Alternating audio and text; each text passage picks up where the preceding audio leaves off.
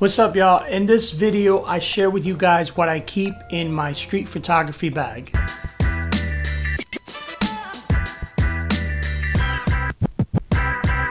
What's up everybody? If you're new to the channel, I make videos for digital media students, teachers, and creatives. I've been thinking of making this video for quite a while. As you know from the title, it's a what's in my camera bag video. I binge watch these videos because they're fun, but it also pulls back the curtain on what that particular creative feels is important and today I actually share what I keep in my camera bag. I'll walk you through everything that I use and why I use it and the thoughts behind it. Drop me a line down in the comments if you have any questions about what I'm sharing. So over the years, camera companies have been battling it out to get our attention and our money. And what you carry in your bag says a lot about you and where you are in the creative journey so many choices, right? We have so many choices. What camera bag, what lens? Maybe you have multiple lenses. Maybe you want to be minimalist and you want to carry one lens. But in this bag, I've decided to prioritize photography. So let's jump right into what's in the bag. So the first thing up on my kit is the X100V. And this camera is a very unassuming camera. It takes up minimal space, so it's a total joy to take everywhere. This camera inspires me to shoot, and that's the most important. I have a separate video on this camera because it deserves its own time. And if the video is done by the time you watch this video, I'll place that cue card on top. So next on the kit is the multi-tool. I carry my multi-tool everywhere. I have one in my truck, I have one in my motorcycle tool roll, and I have one here. It's always with me, it's so handy, and it has saved the day on numerous occasions. So the Leatherman multi-tool.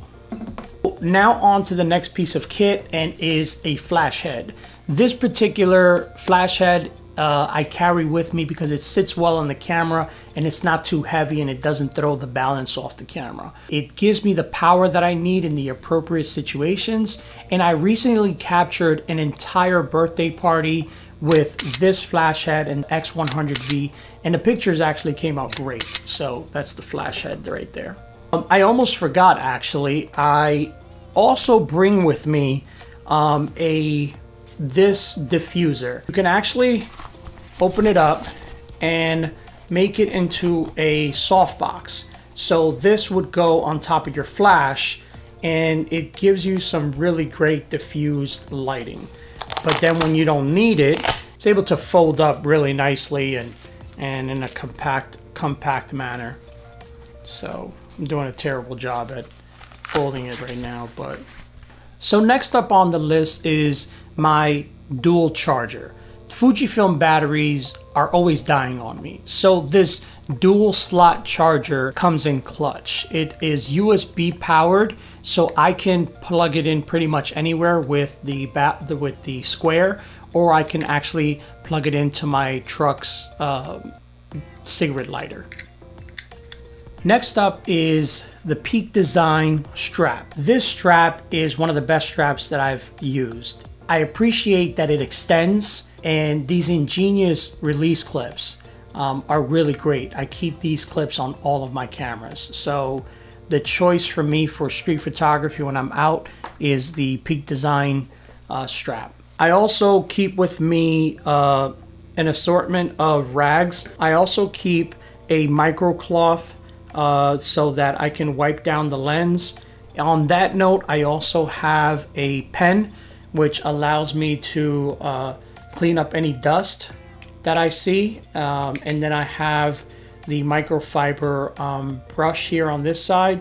So as far as cleaning goes, that is always in my case. And then on that same note, I have lens wipes for those harder to remove smudges. So I always keep this with me. I have with me an assortment of batteries. I have a AA battery and I also have a AAA batteries because they go out at the worst times. Now, I want to talk specifically about this behemoth here, and that's my everyday carry pouch. Now, this pouch is the backbone support for this entire kit that you see on this uh, flat lay. And I actually have a separate video on this everyday carry pouch because it deserves its own time. If that video is done by the time this video is up, I will pl place it up on the card. So be on the lookout for my everyday carry pouch, but it is in my camera bag. What else is there in my camera bag that I didn't mention? Um, I have some beeswax lip balm. I have my GoPro with the media mod on it. I have an Allen wrench, an extra SD card. Sometimes I'm I'm in the middle of processing pictures and I leave the card in the computer and then when I go out to shoot, I don't have a card, so this comes in clutch and I always put this back. Of course, I have pens and um, I have markers. I have my field notes. So this will be when I'm some downtime, jot it down, then take notes on your phone. I know some people really like taking notes on their phones. I have those moments too, but sometimes it's just nice to go ahead and jot them on real paper. So next on the list is my tabletop tripod and that is this item right here. This Tabletop tripod is always in my bag because there are times that I want to drag my shutter and I need a stable platform. So this tabletop tripod along with this swivel head when placed up here gives me a lot of versatility for setting up my uh, camera on the floor or on a solid platform.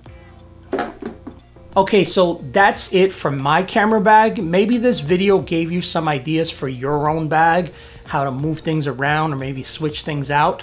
I hope you enjoyed this episode as much as I enjoyed making it for you. Drop your questions and comments below and I will see you all on the next video.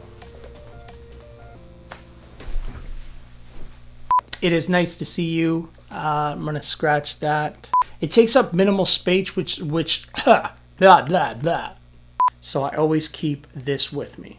And I'm not recording up there. Let's go ahead and wrap this up. Let for you. Let's do that again. Today I'm gonna talk, walk you through. Damn it. But um, oh